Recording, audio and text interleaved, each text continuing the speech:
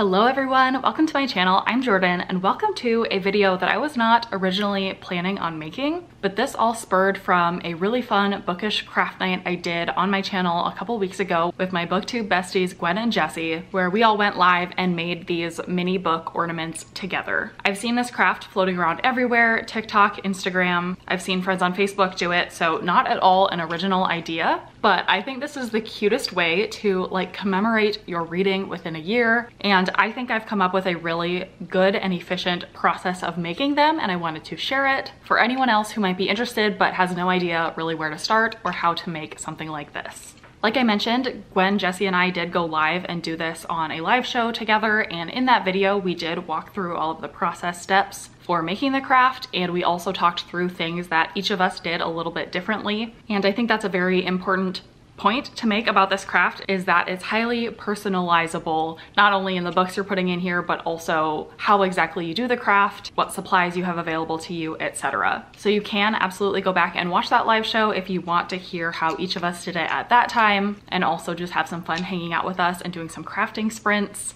I will also try to mention as many of the modifications you can make or different ways you can do it throughout this video, but will primarily be showing my most efficient way of doing this. So let's talk about what you will need for this craft. The first thing you will need is obviously the ornament. You will need clear, empty ball ornaments, or you can get the ones that are like skinnier than a ball. Like they look round from one direction, but skinnier in the other direction. As long as the top opens up and you can have the opening let me focus on here so that you can put stuff inside the ornament. It can be any shape you want for the actual ornament. For the round ones, I have seen this version where you pull off the top and then can put it back on. They also make a kind where the middle basically like snaps open into two halves of a circle and then you put things inside that and then just snap it back together. Either type works. The thing I will say about this kind is that for me at least with the size I made the books, once I put these mini books inside that hole, it is kind of hard to get them back out. So if you foresee yourself wanting to kind of try things out and be able to put things in and take things out easily from your ornament, I would recommend the kind that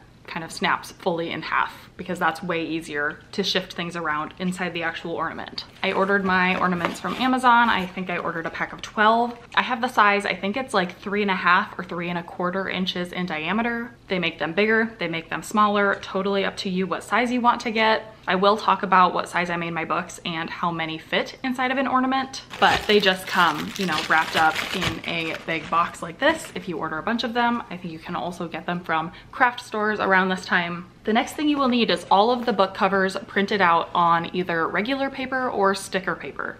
I highly recommend sticker paper. It is much more expensive, but makes this craft way easier.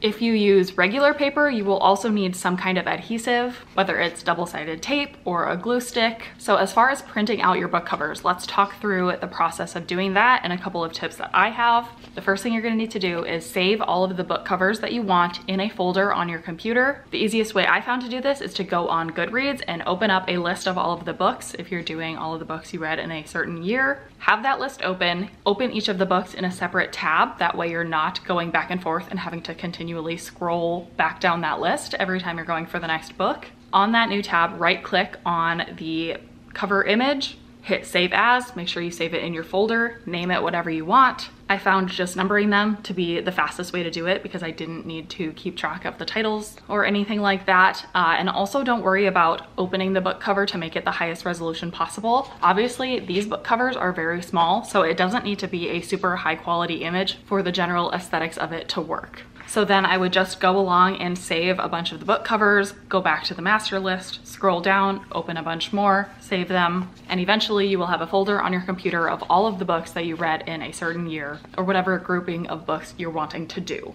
Then for getting those book covers on a page, you can do a couple of things. One is to open up a template that Gwen has actually created that has the grid of book covers that you will fill up. You'll basically just insert the picture of a book cover, resize it to fit one of the rectangle boxes on that template, repeat it for all of your books. I found that to be a little bit time consuming and not super fun to have to actually manually resize every single book and like fit it to the grid lines perfectly. So what I did instead was go to my folder on the computer, select every single book and drag them into a Word document. And then one by one, I clicked on the pictures hit the format button where you can see the dimensions of the image. I changed them all to have a height of one inch and then hit enter. And all that does is make sure every single book has the same height if you look really closely, you might see some covers that are skinnier than others, but to me that's fine. And the one inch height did mean that the widths would still be thin enough that they would fit inside the opening, but make sure you keep that in mind as you're doing this. The opening of my ornament I think is three quarters of an inch. So all of my pictures, I just made sure they were like 0.7 of an inch or smaller, and that was really not a concern at all. You will also need two copies of every book cover. You can do this one of two ways. You can put them side by side on the same sheet, or you can do what I did and just print two copies of your book covers. And this actually works really well for later in my process to do it uh, on two separate pieces of paper. But I know a lot of people do it side by side so that they know they have two of every book. They don't forget, they don't lose them. They are right next to each other on the sheet of paper. So once you have all of your book covers on one sheet on your computer, you will print it out, again on regular paper or sticker paper. And then the next uh, piece of supplies you will need is foam. This is just regular like craft foam, really thin. If you don't have foam, there is another way to kind of replicate the look, which I will get to in a later step. But this is going to be the inside of your mini book that looks like the pages that goes in between the two book cover images. So now that you have your printed out book covers and your foam, you are going to start cutting these out and assembling your miniature books let me talk through my process, which I think is the most efficient way to do this. If you have sticker paper, you are going to peel off the backing of your entire page and stick it right on your foam sheet. If you don't have the sticker paper, you could do this with adhesive. Just put glue on the entire back, stick it directly to your foam. Then you are going to cut out the horizontal rows of books. Since all of these are the exact same height, you should have no problem cutting straight across and not cutting off any of the tops or bottoms of any books. I recommend doing this with scissors. You can use like a paper cutter, but my type of paper cutter that I have really squishes this down and so it would like crease the foam weird. When I tested it, I do think the type of paper cutter that you like lift up and chop down would work just fine if you happen to have one of those or access to one of those. But scissors works perfectly fine for this part of the process. It's very quick. You will also still have your other sticker paper with all of the covers. You will now cut this into strips the exact same way. Leave the backing on the stickers so that you're not sticking them to random things. But after you do that, you will have the one sticker paper already stuck to the foam with nothing on the back side. And then you will also have the plain sticker paper with the exact same covers. So if you put them on top of each other, they line up perfectly. And then what you're going to do is essentially flip the foam one upside down and stick your remaining sticker paper to the back of it and that will make it so that you have the same book covers on the front and back. And yes, they will be upside down from each other. So if you flip it horizontally, the covers will be upside down. But here's the thing, when you have them all inside your bookish ornament, you are never able to see both sides of the same book at the same time. And they all get jumbled around and mixed upside down anyway. So I think it is completely fine to have them like this where they're just vertically matching, if that makes sense. And then the last thing you're gonna do is just snip the width of each book and you are left with your little mini books. Some other ways of doing this, if you don't have the sticker paper or the foam or whatever, in my opinion, are a little bit more tedious, but still work. You can, of course, just cut out your book covers and cut your foam to the right size and individually stick each book cover to the foam and back to back. I found it a little bit difficult to peel off the sticker backing of just the tiny singular book and it's much easier to peel off the backing of the entire strip. And similarly, if you're not using sticker paper, you're just using regular paper and you cut out each individual book and then apply adhesive to the tiny book. I think that sounds tedious and you do have to cover the entire back of the little book with adhesive to get it to completely stick to the foam. Otherwise, the corners will curl up. So I do think that batch adhesiving is the key to making this a quicker project. Also, if you don't have foam, I have seen some people just take regular printer paper, cut it into strips at the right height, and then accordion fold it and glue the book covers to each side, and that will actually make it look even more like little book pages. It's just much more time consuming than using foam that already has that thickness to it. You can also use other colors of foam if you don't have white. My friend Jessie actually couldn't find any white at her craft store, so she ended up getting black. She's calling them sprayed edges, and I think that's awesome and would also be fun with any other color. It really would just look like colored sprayed edges to all your books. And yeah, I think that is all my tips and kind of different ways of doing it. It is a little bit of a tedious project. Obviously you're making a lot of miniature books and I think that that's part of it. You have to enjoy the process of doing a craft if you want to do the craft. At least that's my opinion. I personally really like repetitive, simple tasks. So that's why this type of craft is right up my alley. But I also know that making progress is motivating. So I wanted to introduce the most efficient way that I have come up with to do this craft so that you're not wasting hours and hours glue sticking tiny little individual books and there is a faster way, especially if you have lots of books to get through. I am doing my last four reading years. I have read over 100 books every year for the last four years, so that's like 500 mini books that I'm making, but I really love it. Uh, I did mention I would talk about how many books fit inside of an ornament.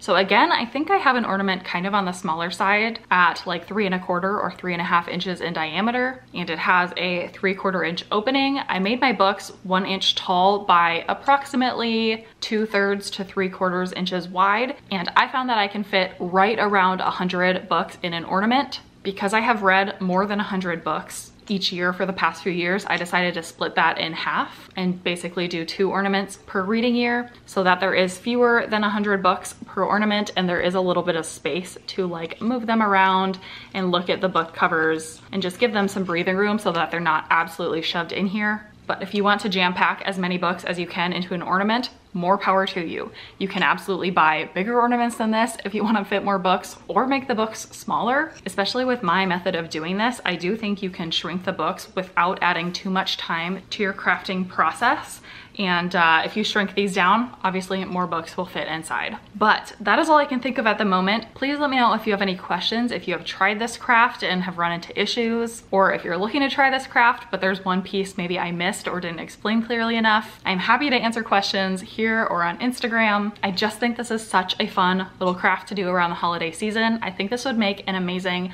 teacher gift or gift to a reader in your life if you have access to like their favorite books or a school's book curriculum or all books in a certain genre or if you have children and want to do children's books or you could make this not bookish and put pictures of other things inside an ornament like this. The possibilities really are endless and I am considering making some additional ornaments for gifts this year already and I'm very excited about it. So please let me know if you plan to do this craft or if you've attempted it and had any luck completing it or if this video has inspired you to try it because it really isn't that difficult, just a little bit tedious as most DIY crafts are. Oh, and I forgot to mention one final touch is you could absolutely use like a Cricut or Silhouette machine to print out uh, a decal that says like 2022 reading year or my favorite books or the person's name that you're making this for or you could use like a marker pen and just write on the outside of it and decorate it. You could also put other things inside to fill the space. You can tie different ribbon around like the top of the ornament. Let your creativity run wild, make it yours, make it personal. I would love to see pictures if you've done this craft, uh, if you wanna post it on Instagram and tag me, or if you make it because of this video. Again, not at all my original idea, so I don't wanna take credit for inventing this,